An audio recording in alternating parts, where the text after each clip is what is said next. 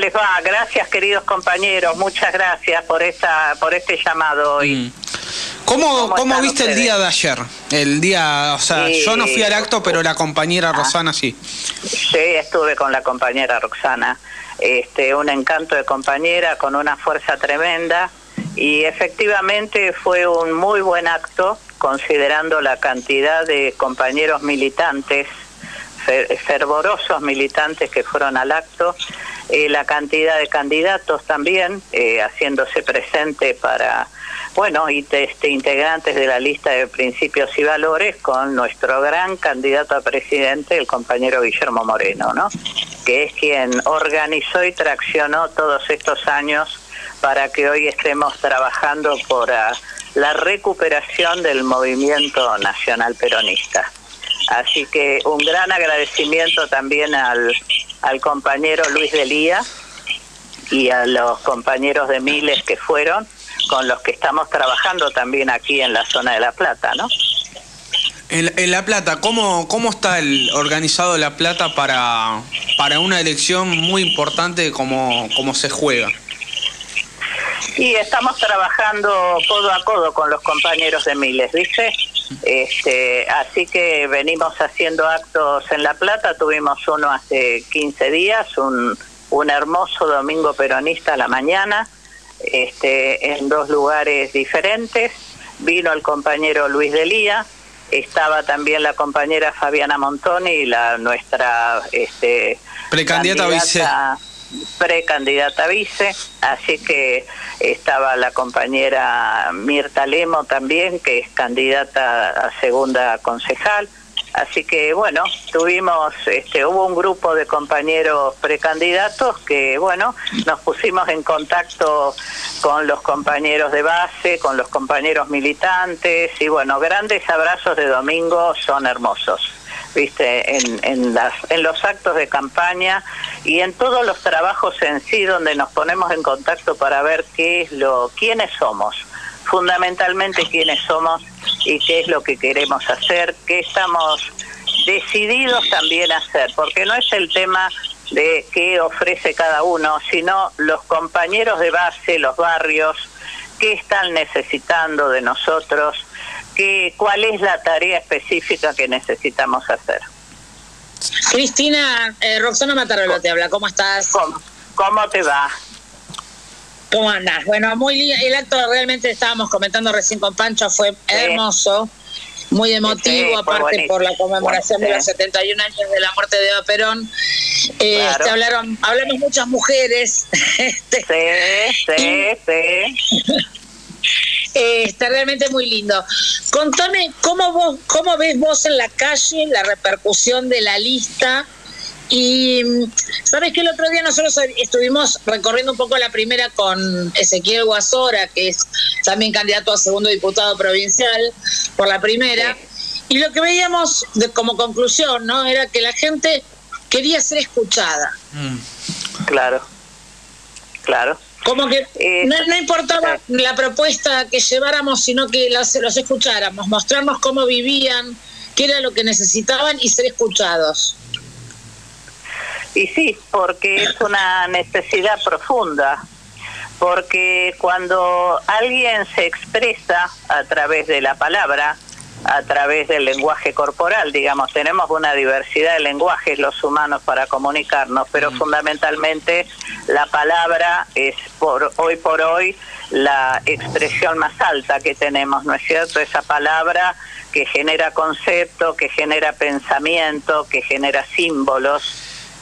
Es muy necesario porque cuando no hay un interlocutor válido, como se dice habitualmente, no, no le pones la escucha a ese, a ese otro, a ese prójimo que, que está conversando, que necesita comunicarse, que necesita expresarse, que ni siquiera a veces por ahí tenés la respuesta, pero ya esa escucha atenta, consciente, dándote cuenta afectiva y anímicamente que lo que se necesita es, es esa situación de ese momento de ese encuentro que se produce, se empiezan a generar las respuestas, las posibilidades y las oportunidades.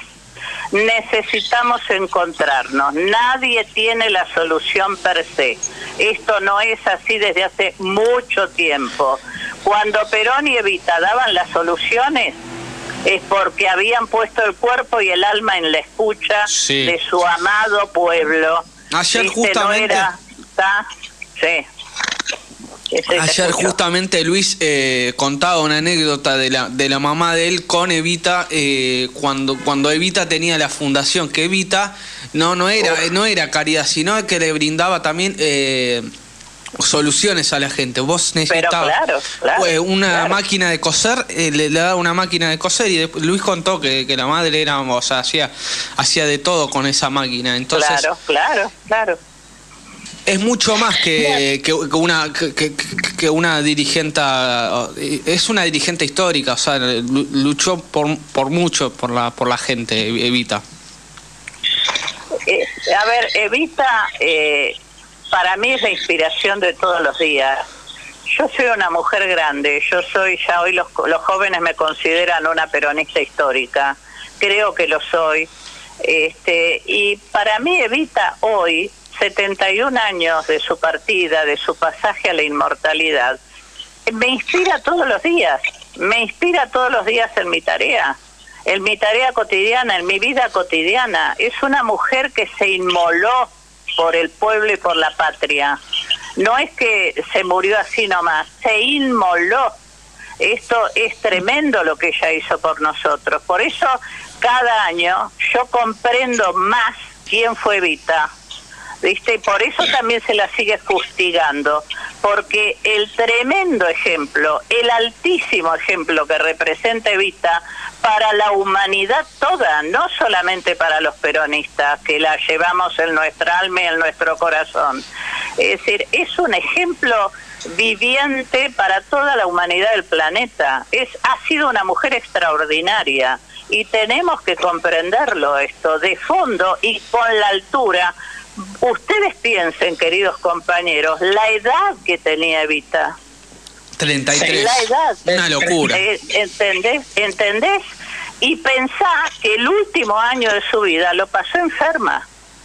Es decir, que hizo todo desde la enfermedad que tenía y que ella sabía que se iba a morir y no se quería morir. Es tremenda la vida de Evita.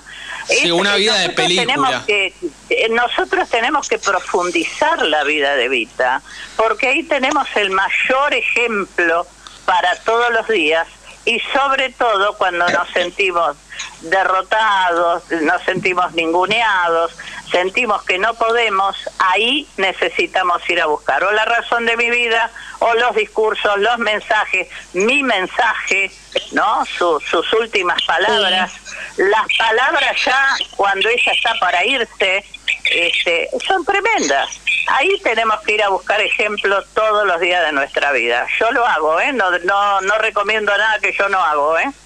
Si no es muy difícil también sostenerse hoy, porque alguien a quien le pegaron y le pegaron y le pegaron, ¿eh?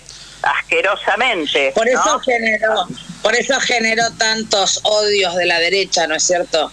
claro, claro. Eh, lamentablemente, eh, lamentablemente, lamentablemente porque eso fue generado por el egoísmo. Eh, si vos no, no sos egoísta, no podés odiar, ¿viste? Porque en realidad debería haber generado solamente amor, Evita. Pero bueno, nosotros, respondemos con amor. Nosotros respondemos con amor. Yo creo que odiaban más a, Evita que a Perón en sí. Y porque era un ejemplo, era un ejemplo, ¿sabés por qué? Porque eh, era otra etapa vos pensabas que era otra etapa, ¿no? Este, otra etapa del planeta, de la vida en el país, este, era muy fácil pegarle a una mujer. No era tan fácil pegarle a, a Perón, que era general de la nación, militar, viste, uniforme. Había muchos militares con él también este, apoyando la causa, trabajando para la causa del peronismo en ese momento. Evita se ofrece, viste, como un gran blanco para, para recibir en su pecho y que lamentablemente la, la dañaron tanto también, ¿no? Y esto es una gran pena que también cargan los argentinos, ¿eh? no solamente los peronistas, los argentinos todos deberíamos, tendríamos que trabajar para también poder resolver estas sombras que se, reproducen sobre nosotros producto de estos odios y de estos egoísmos. Por eso no alcanza, cada vez más amor necesitamos producir. Esa dinámica tan alta, con una vibración tan alta, que es el amor de todos los días hacia ella, hacia el pueblo, hacia el prójimo, hacia todo nuestro trabajo como peronistas, hacia este hermoso país que es un país generoso, que siempre abre los brazos y abre las puertas para todo, para todo el mundo. Hoy que tenemos migrantes dando vuelta por el mundo que no tienen un lugar para vivir. Cristina, la tristeza de hoy es muy honda. Sí, mi querido. Vos acá hablabas del tema de, de, vibraciones, de, los gestos. ¿No ves que en estos cuatro años, o sea, de, Alberto Fernández y Cristina como vice, eh, ese eh, no sé, triple comando, eh, eh, cuatro, cuatro comandos, o sea, manejando la política. Eh, desazón en la gente, ¿no ves desazón? terrible, terrible, terrible. A mí me preocupa mucho. Si, si ustedes escuchan algunos de, de, mis mensajes públicos, que son pocos, por supuesto, tengo más mensajes privados en este sentido, producto de mi trabajo. Este, yo me estoy ocupando de, ese tipo de mensajes, ¿viste? Eh, están dañando mucho a la gente con esos triple o cuádruple comando, tetracomando, como vos estás mencionando, porque además eh, es como si no estuvieran en el gobierno y están en el gobierno. Entonces se, está hablando desde una fragmentación muy seria, eh, muy grave, no se debería seguir hablando desde ahí. Yo les pido que no lo hagan porque están generando mucho daño, daño psicológico, daño mental, esa desazón que vos estás mencionando se está expresando en las elecciones provinciales, ¿viste? La gente no sabe qué hacer. Y entonces ante ese no saber qué hacer responde o contesta con no concurrir a la votación. Y la votación es el canal de expresión y comunicación de todo el pueblo y la sociedad argentina. Es decir, para expresar justamente a través de un voto responsable, que es lo que, que es lo que está queriendo, por qué tendencia se está eh, se está yendo, digamos, más allá de que me, me puedan votar a mí como diputada o no, pero lo más importante es que haya un padrón que se exprese. No está sucediendo esto. Entonces, esa desazón que viene estando en todos estos años, que no sucedía con Macri. En el momento de Macri, quienes estaban desazonados eran los propios que habían votado a Macri.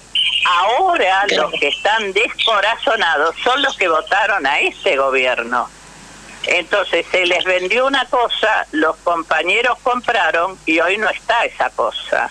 Y encima todo esto que vos llamás de esta manera de tetracomando, que en realidad es una, una gran dificultad este, entre ellos mismos.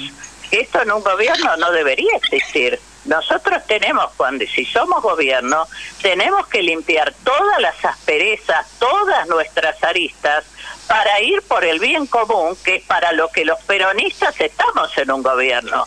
Entonces, cuando la conducción nacional, Guillermo Moreno dice, el árbol se ve por los frutos, y yo estoy de acuerdo porque soy una mujer crística, efectivamente es así. En este momento estamos viendo frutos indebidos. Es ese fruto que no te va a alimentar, que te va a hacer daño, que te va a hacer indigesto, que te va a caer mal. Entonces yo digo, dejen de comerlo, no es un buen alimento. Busquen un buen alimento, que el alimento está y está en principios y valores por techa, techo, tierra y trabajo. Es decir, nuestra fórmula completa completa.